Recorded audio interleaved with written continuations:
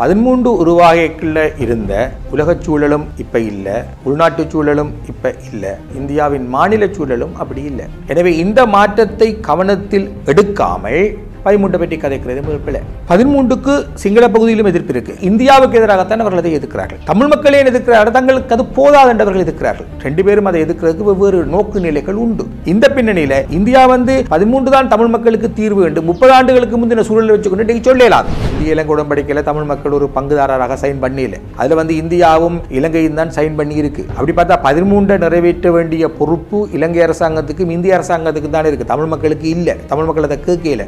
தன்னால நிர்பந்தித்து அதை நிறைவேற்ற முடியும் அப்புறம் என்னதுக்காக தமிழ் மக்களை நோக்கி இந்தியா அதை நிர்பந்திக்க வேணும் தான் நிர்பந்தத்தை பிரயோகித்து அமல்படுத்த முடியாத தீர்வை இதுதான் தமிழ் மக்களுக்கு தீர்வு வேண்டிய இந்தியா முன்வைக்குது? பதிமூன்ற வலியுறுத்துற இந்தியாவால் அந்த பதிமூன்றை முழுமையாக நிறைவேற்று என்று சொல்லி இலங்கை அரசாங்கத்தின் மீது நிர்பந்தங்களை பிரயோகிக்க முடியவில்லை என்பதுதான் உண்மை. சிங்கள மக்கள் தெரிந்தெடுத்த அரசாங்கங்கள் இந்தியாவின் பக்கம் இருக்குமாக இருந்தால் ஹம்பாந்தோட்டிய சீனர்களுக்கு கொடுத்திருக்க மாட்டார்கள். ஒரு சீன பட்டினத்தை கட்டுவதற்கு கொழும்பு துறைமுகத்தில் ஒரு தீவை உருவாக்குவதற்கு அனுமதிச்சிருக்க மாட்டார்கள். கொழும்பில் இருக்கும் அரசாங்கங்கள் என்றைக்குமே இந்தியாவை கண்டு பயந்தன. அவை இந்தியாவுக்கு உண்மையாக இல்லை. வரலாறு முழுக்க அவர்கள் இந்தியாவுக்கு எதிராகத்தான் சிந்திச்சிருக்கிறார்கள். ஏற்கனவே சிங்கள மக்களை இழந்தாச்சு. அது இழந்ததுதான். அது ஒரு காலம் சிங்கள மக்கள் அவளோட நிக்கல. இந்த பின்னணியை கவனத்தில் எடுத்து பார்க்கும் பொழுது திரும்ப திரும்ப பயமுண்ட சொல்லிக் கொண்டிருக்க இயலாது. இந்தியா தொடர்ந்தும் பதிமூன்றை வலியுறுத்துமாக இருந்தால் தமிழ் மக்களையும் அவர்கள் இழக்கப் போகிறார்களா என்ற கேள்வி எழுகிறது. பதிமூன்றை தொடர்ந்தும் அவர்கள் வலியுறுத்தும் பொழுது தமிழ் மக்களும் இந்தியாவுக்கு தூரமாகவே போக பார்ப்பார்கள். கடந்த பதிமூன்று ஆண்டுகளாக இந்தியா அந்த விஷயத்தில் தோற்றுக்கொண்டே இருக்கிறது. பதிமூன்று என்பது இன்றைக்கு இருக்கிற நிலைமையில இந்தியாவுக்கும் தமிழ் மக்களுக்கும் இடையிலான ஆப்பாக மாறி இருக்கிறது என்பதுதான் உண்மை.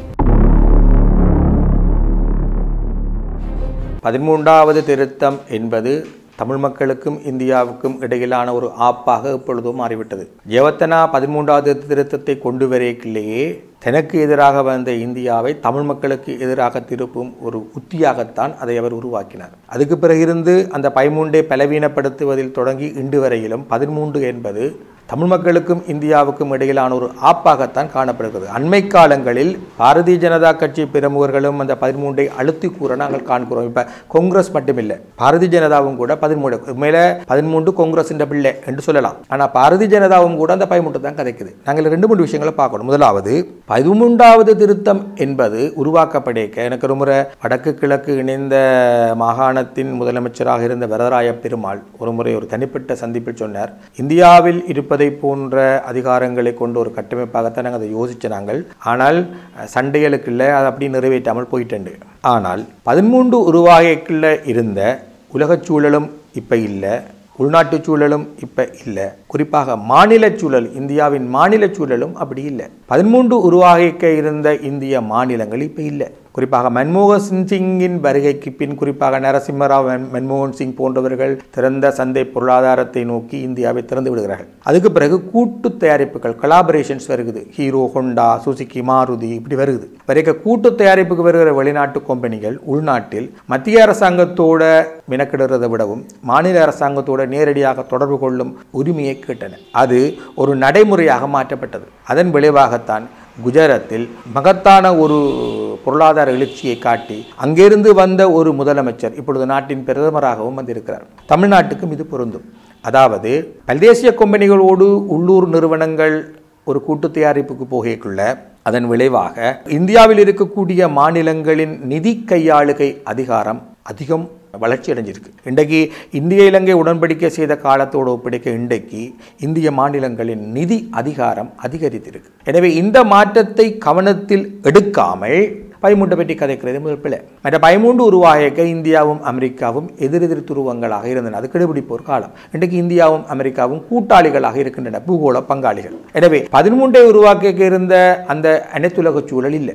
உள்நாட்டிலேயும் பதிமூன்று உருவாக விடுதலை புலிகள் இயக்கம் போரில் ஈடுபட்டிருந்த காலம். தமிழ் மக்கள் ரத்தம் சிந்தி போராடியதன் விளைவுதான் ஒரு வகையில் பதிமூன்று தமிழ் மக்கள் ரத்தம் சிந்தி போராடியதனால் தான் இந்தியா இலங்கை தீவில் தன் தனக்கு என்றென்றும் உரிமை உண்டு கண்டு நிலைநாட்டத்தக்க ஒரு ஒப்பந்தத்தை செய்து கொண்டது. அந்த ஒப்பந்தத்தின் விளைவாகத்தான் பதிமூன்று வந்தது. பதிமூணுல தமிழ் மக்கள் சைன் பண்ணல இந்திய இலங்கை உடன்படிக்கையில் தமிழ் மக்கள் ஒரு பங்குதாரராக சைன் பண்ணல அதில் வந்து இந்தியாவும் இலங்கையும் தான் சைன் பண்ணி இருக்கு அப்படி பார்த்தா பதிமூன்றை நிறைவேற்ற வேண்டிய பொறுப்பு இலங்கை அரசாங்கத்துக்கும் இந்திய அரசாங்கத்துக்கு தான் இருக்கு. தமிழ் மக்களுக்கு இல்லை. தமிழ் மக்கள் அதை கேட்கல. அப்படி பார்த்தால் யுத்தம் நடந்த காலத்தில் பதிமூன்றை அமல்படுத்தாமல் விட்டதுக்கு அவர்கள் வெறும் சாட்டி சொல்லலாம். ஆனால் கடந்த பதிமூன்று ஆண்டுகளாக பதிமூன்றை அமல்படுத்தாமல் விட்டதுக்கு இந்தியாவும் பொறுப்பு. பதிமூன்றை அமல்படுத்து கண்டு இலங்கை மீது அழுத்தத்தை பிரயோகிக்க இந்தியாவால் முடியவில்லை என்பதை தான் கடந்த பதிமூன்று ஆண்டுகளிலும் நிரூபிச்சிருக்கு. இப்போ இந்தியா பதிமூன்றின் பெற்றோரில் ஒருவர் என்ற அடிப்படையில் கடந்த பதிமூன்று ஆண்டுகளாக இந்தியா ஏன் அஹ், இலங்கை அரசாங்கத்தின் மீது அழுத்தத்தை பிரயோகிக்கவில்லை என்ற கேள்விக்கு இந்தியா பதில் சொல்ல வேணும். அது மட்டுமில்லை தன்னால நிர்பந்தித்து அதை நிறைவேற்ற முடியும் அப்புறம் என்னதுக்காக தமிழ் மக்களை நோக்கி இந்தியா அதை நிர்பந்திக்க வேணும்.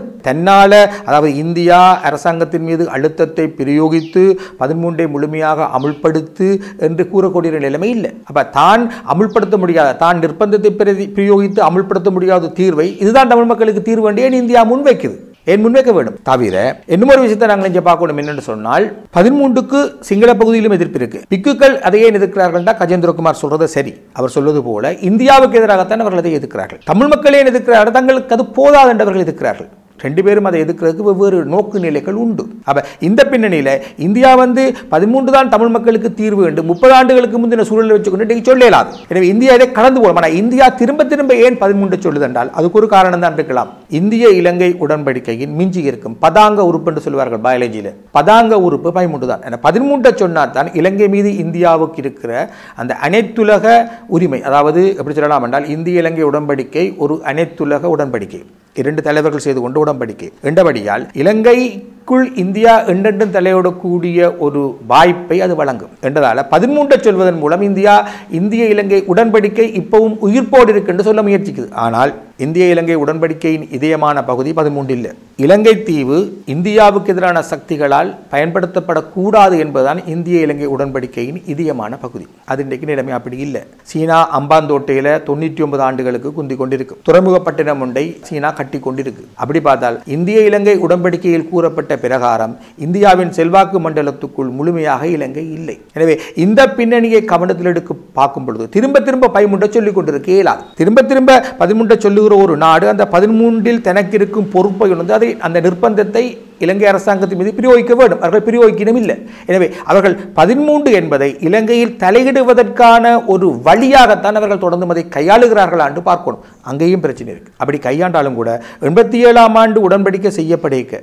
அதாவது முதலாம் கட்ட ஈழப்போரில் இருந்த அதே அணுகுமுறையை தான் இந்தியா இப்பவும் வச்சிருக்கு. அது என்னென்று சொன்னால் கொழும்பை கையாள்வதன் மூலம் இலங்கையை கையாள்வது. இலங்கையை கையாள்வது என்பது கொழும்பில் இருக்கும் அரசாங்கத்தை கையாள்வது. இது இந்தியா மட்டுமில்லை சீனா தான் செய்யுது அமெரிக்கா தான் செய்யுது ஐநா தான் செய்யுது உலகில் உள்ள எல்லா அரசுகளும் அரசுக்கும் அரசுக்கும் இடையிலான கட்டமைப்பு சார் உறவுகளின் ஊடாகத்தான் இலங்கையை அணுகுகின்றன. சீனாவும் அப்படித்தான் செய்து இந்தியா சீனா யுத்தத்தில் இலங்கைக்கு உதவியது. என்னது அரசுக்கும் அரசுக்கும் இடையிலான உறவு. கடைசி கட்ட போரில் அரசாங்கத்துக்கு அறுபது வீதமான ஆயுதங்களை வழங்கிய நாடுகள்லாம் பிற ஐநாவில் அரசாங்கத்துக்கு எதிராக தீர்மானத்தை கொண்டு வந்ததாக முதலாவது தீர்மானம் நிறைவேற்றப்படைக்க இலங்கைக்கு எதிரான தீர்மானம் நிறைவேற்றப்படைக்க அதை எதிர்த்து பேசிய கியூப பிரதிநிதி சுட்டிக்காட்டியிருந்தார்.